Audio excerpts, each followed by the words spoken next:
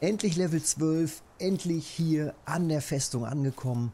Und jetzt wird es Zeit, sich ein richtig gutes Startset zuzulegen. Ein Angelset, wo man auch etwas dickere Fische mit rauszieht. Und welches von diesen neun Komplettsets das genau richtige ist für dich, für den Zwölfersee, für die Festung, das zeige ich dir jetzt.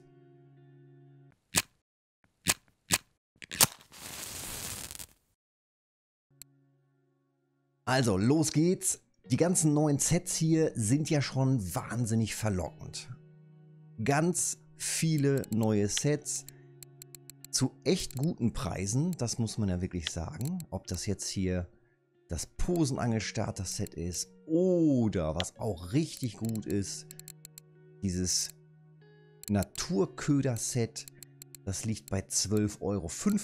Im Vergleich dazu würden die Köder einzeln ähm, was hat man ausgerechnet, 15,96 kosten. Das heißt, wenn man einen oder mehrere von diesen Ködern eh kaufen möchte, lohnt es sich in jedem Fall, das Naturköder-Set zu kaufen. Das nehmen wir auf jeden Fall schon mal mit. Das lohnt sich. Und mit dem Set angeln wir dann auch gleich. Ähm, bei den Routensets ist es ein wenig durchwachsen. Ich habe mir gerade mal das Posen-Set-Start angeschaut. Da bin ich nicht so ganz von überzeugt. Also wenn man ganz am Anfang ist, vielleicht sogar noch unter Level 12, da dann rund 50 Silber auszugeben für dieses Posen-Starter-Set, ich glaube, das ist rausgeschmissenes Geld, weil man ja entweder mit der Ersatzroute vom Waldsee, mit der Bambusroute oder auch vielleicht mit einer Telestick eine Telestick 13, genau so zusammengebaut, äh, liegt bei 28 Silber. Also da vom Effekt her ist das kaum Unterschied, nur dass man eben hier ein bisschen mehr Tragfähigkeit hat. Aber wie gesagt, der Rieseneffekt ist es dann eigentlich nicht. Also für den Anfang, ich glaube, dieses Posen-Starter-Set ist, glaube ich, nicht so richtig effektiv. Da würde ich lieber noch ein bisschen länger angeln und mir dann das ähm, Posen Starter Set Plus leisten. Wenn man damit, also wenn man wirklich sich auf Pose spezialisieren möchte und dann auch hier ähm, im Level 12er Bereich sich dieses Starter Set zulegt mit einer Tragfähigkeit von 7,5 Kilo, das macht dann schon eher Sinn. Da kann man dann wesentlich entspannter auch am 12er angeln. Wobei das hier an der Festung trotz allem immer noch ein bisschen gefährlich sein kann. Aber das ist halt Posenangeln. Das ist eh mal ein bisschen tricky, gerade mit den, mit den Stippen. Wenn da mal ein dicker Amur anbeißt, macht einfach Pitch und die Schnur ist durch.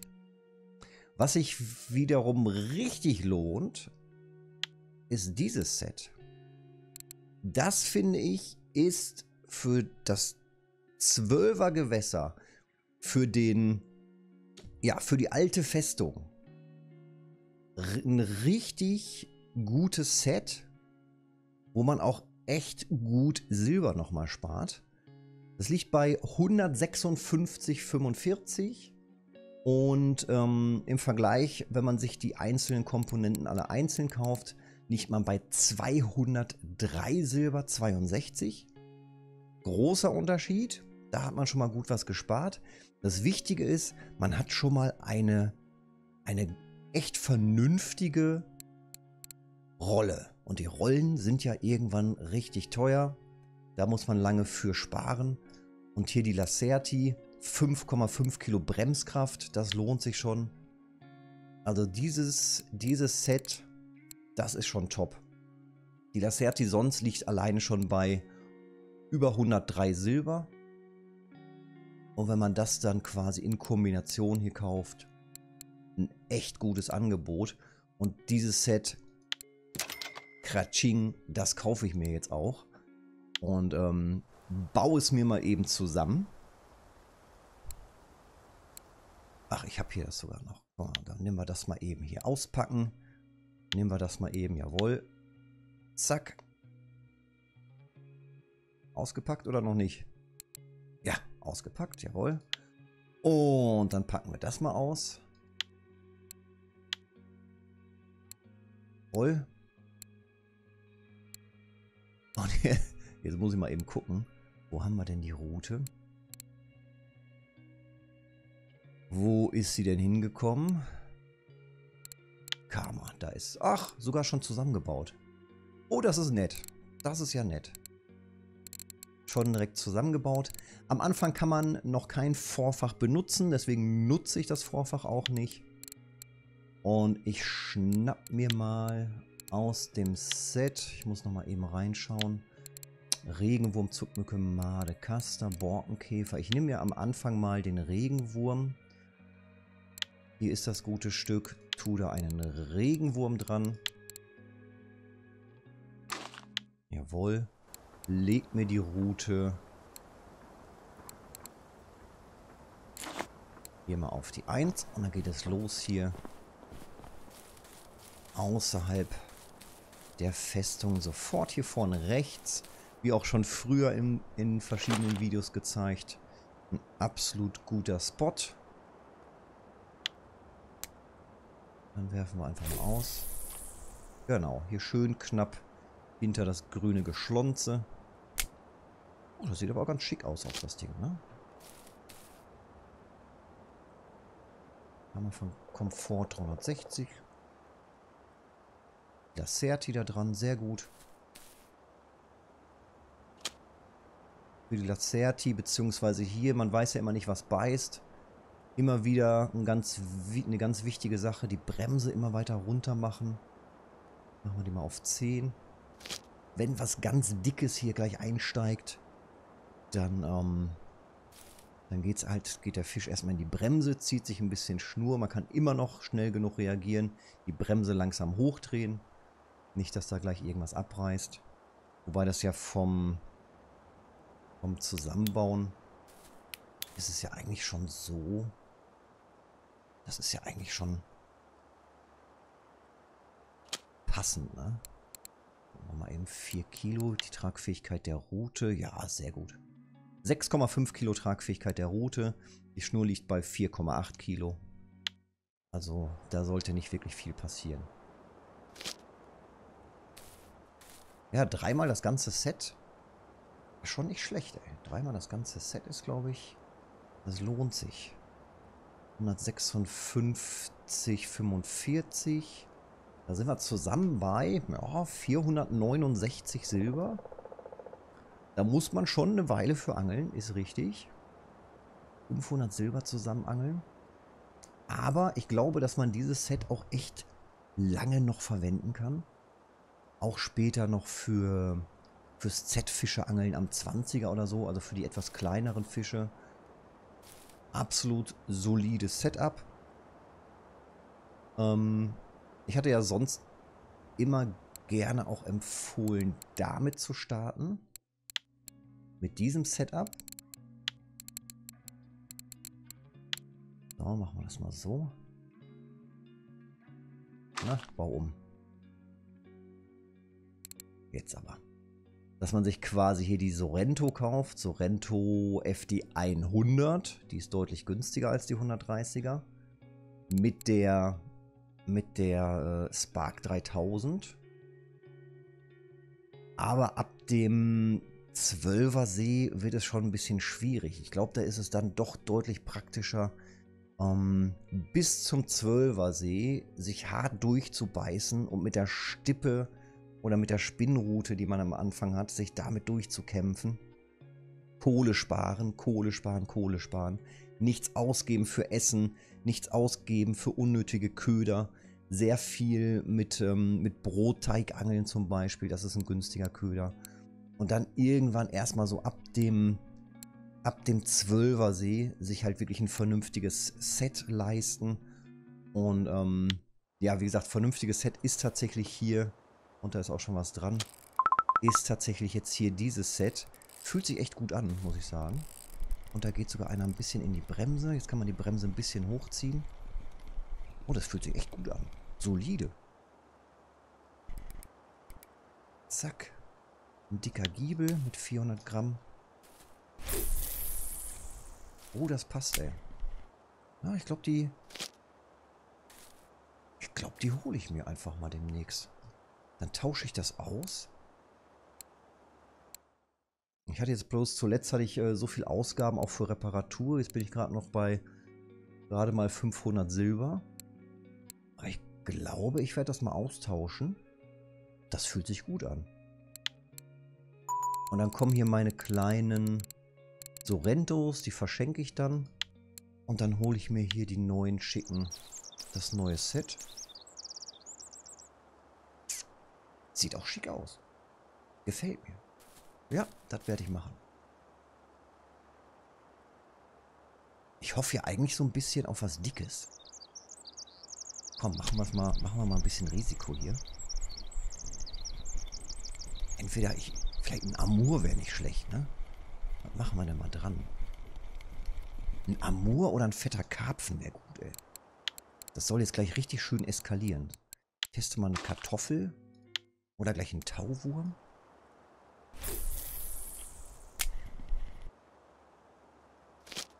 Wichtig natürlich jetzt, wenn ihr hier an der Position steht und ihr wollt was Dickes fangen, dann gucken, dass man wirklich auch hier in Richtung der Brücke steht, dass wenn der Fisch anbeißt, dass der entgegengesetzt eurer, eurer Richtung quasi abhaut. Heißt, wenn ihr nach so werft, haut er natürlich in, in Richtung des, des, des offenen Sees einfach ab. Also besser so hinstellen, schräg, oder vielleicht sogar noch besser hier hinstellen und dahin werfen. Also je, je eher, je schräger der Winkel ist, dass der Fisch dann wirklich abhaut in die Richtung. Wenn er hier anbeißt und schon hier rüber abhaut in die Richtung, Route aufheben, hier hinlaufen und nach rechts rüberziehen mit der Route, damit er umdreht, der Fisch, und dann wieder in Richtung Brücke hin abhaut, der schwimmt in der Regel nicht unter der Brücke durch. Das heißt, ihr könnt den dann schön in der Ecke da hinten oben in Richtung Stein, dann drillt ihr den Fisch da oben. Und dann könnt ihr auch eigentlich die dicksten Brocken rausziehen. Auch, und das ist wichtig, auch über der Tragfähigkeit der Rute und über der Tragfähigkeit der Schnur und natürlich auch der Bremse. Das heißt, auch mit diesem Setup ist ein 10 Kilo Fisch oder mehr durchaus möglich. Da kommen immer wieder die Fragen, ja, was kann ich denn hier angeln? Meine Route hat nur eine Tragfähigkeit von 4 Kilo. Was ist, wenn da auf einmal ein dicker Karpfen anbeißt? Ganz entspannt, Leute. Rausziehen die dicken Karpfen. Ganz wichtig. Deswegen ist es eben so wichtig, dass ihr hier am Anfang die Bremse richtig einstellt. Die Bremse lieber weiter nach unten. Jedes Mal, wenn man neu einloggt, ist die Bremse immer auf 16 eingestellt. Also bevor man die Route abstellt, runter auf 10. Wenn ihr hier an diesem Setup vielleicht auch noch einen, einen Vorfach dran macht, ähm, später hat man Vorfach freigeschaltet, dann ähm, ist die Tragfähigkeit des Vorfachs nochmal unter der Tragfähigkeit von, von der Schnur. Und dann muss man die Bremse vielleicht sogar noch mal weiter runter machen, damit nicht das Vorfach abreißt. Abstellen und auf den dicken Brocken warten. Ich habe noch mal einen Regenwurm dran gemacht. Aber ist auch nicht richtig dick. An den Regenwurm hier. Oh, ganz kleiner Giebel. Das ist noch nichts Dickes. Ja, da ist wieder. Oh, ich habe gerade mal einen Mistwurm dran gemacht. Aber auch eher was Kleines. Was haben wir denn da? Och, Kaulbarsch. Oh, das ist gut. Das ist gut. Ganz kleiner Fisch, bringt aber gut Silber.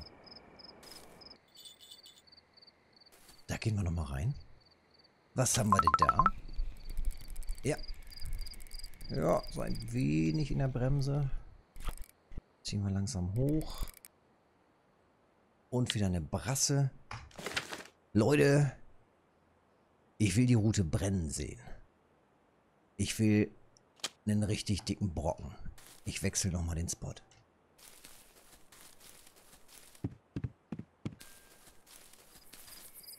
So, hier hinten angekommen.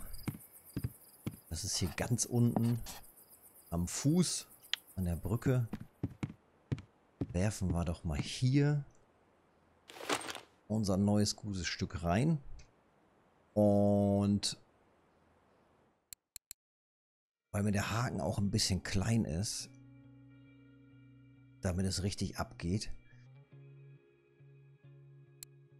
Was haben wir denn hier drauf? Wir haben 150, 160 Meter drauf. Das reicht. 160 Meter Schnur. Moment, haben wir 160 Meter drauf? Nein. Wir haben 120 Meter drauf. Mehr haben wir ja gar nicht hier auf der Spule, auf der Rolle. 160, 159 könnten drauf. 120 Meter haben wir. 4,8 Kilo. Ich hau jetzt hier mal einen dickeren Haken dran. Nehmen wir mal einen fetten Viererhaken. Und entweder eine dicke Kartoffel, einen fetten Tauwurm.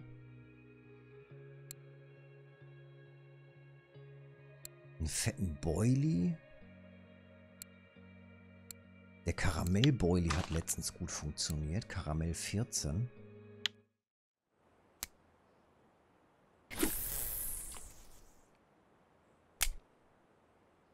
Halt. Direkt nochmal aufheben. Bremse runter. Jetzt bin ich gespannt. Oh, oh, oh. Oh ja, oh ja, oh ja. Ja, so habe ich mir das vorgestellt.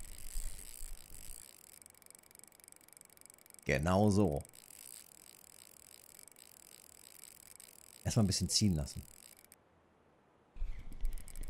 Bremse langsam hoch. Und dagegen kurbeln. Kann aber noch schwerer werden. Aber das ist auch schon mal ganz nett. Das ist doch schon mal ganz nett. Oh, das ist eine Brasse. Nee, das ist ein fetter Giebel. Ja, Mann. Komm. Bremse noch weiter hoch. Zack. Naja. Kann noch dicker. Soll ich mich mal hier an die Kartoffel wagen oder an den Käse? Oder einen fetten Tauwurm? Ich nehme mal die fette Kartoffel. Vielleicht geht ein Amor dran.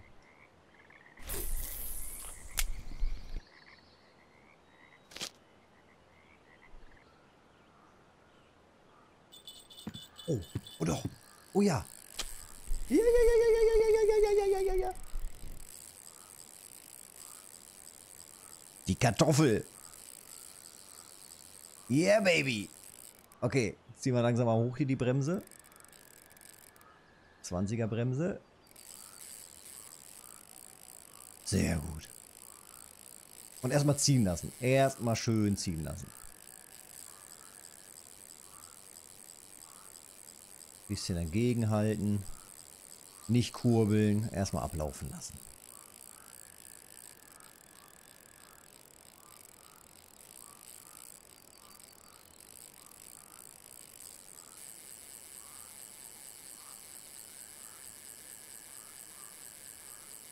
Oh, Alter. Jetzt weiß ich auch, warum das Ding mit einem 14er Haken verkauft wird. Kurbeln wir mal, ja, so langsam wieder dagegen.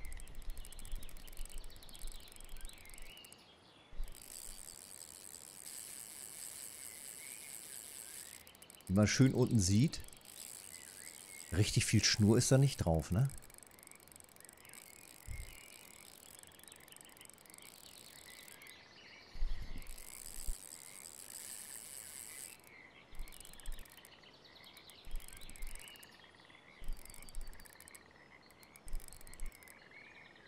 Eine Stufe höher.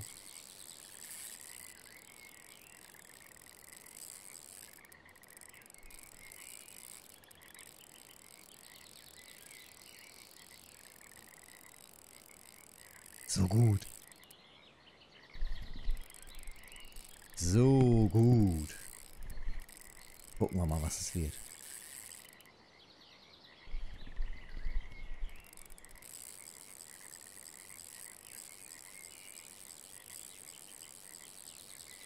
Kartoffel, einfach bester Köder.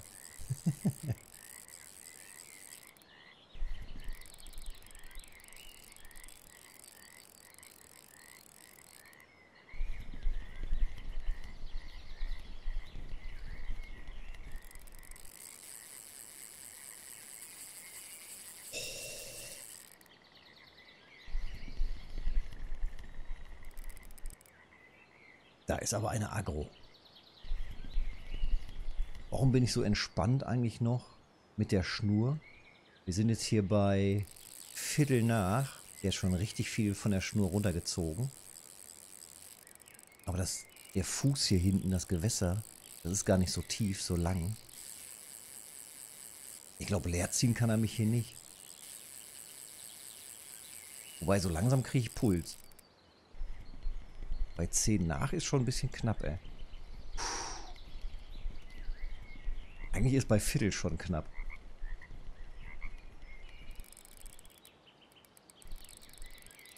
Hundertzwanzig Meter. Knapp. 120 Meter ist knapp.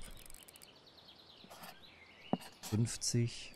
Ja, wenn er hinten ganz in der letzten Ecke ist. Pro Kästchen 50 Meter.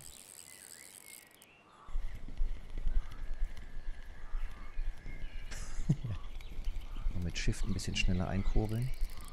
Würden so ein bisschen hier in die Route noch reingehen.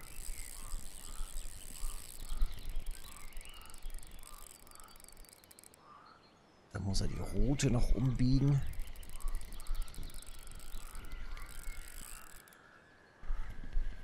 Und wenn das... Man, genau, jetzt ist es zum Beispiel gerade so, beim schnellen Kurbeln, also mit Shift kurbeln, dann geht er in die Bremse. Und ohne lässt er sich besser ziehen. Manchmal merkt, merkt man, dass, dass der Fisch dann schneller dagegen reagiert und ein bisschen aggressiver darauf reagiert, wenn er zu schnell gezogen wird. Wenn er langsam gezogen wird, dann kämpft er weniger dagegen an. Oh, ich bin gespannt. Na, man kann natürlich jetzt auch mitlaufen. Ne? Wichtig ist da natürlich dann, dass man guckt, dass der, dass der ähm, nicht jetzt an einem vorbeisaust und dann hier in Richtung des, des offenen Sees schwimmt. Weil unter dieser Brücke schwimmen die schon mal gerne durch und dann steht man auf einmal.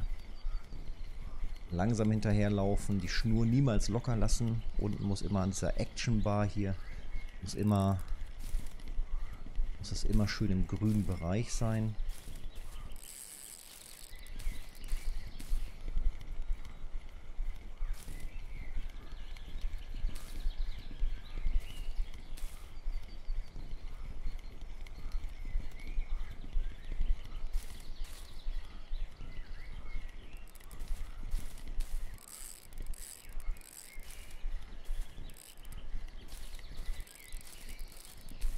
Und der ist tatsächlich ganz hinten im Zipfel ist der drin. Oh. oh, oh. Zwischendurch mal dann ganz schnell kurbeln. Jetzt hier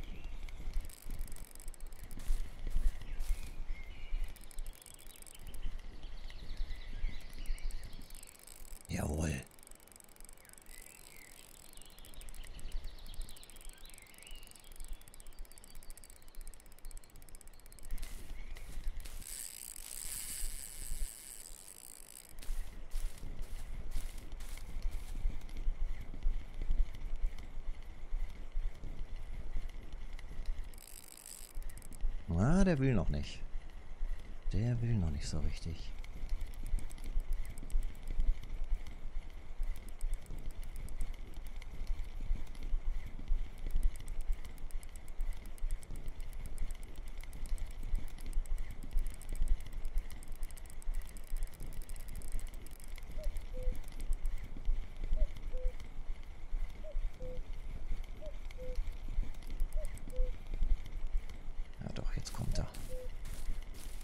Schon zu sehen.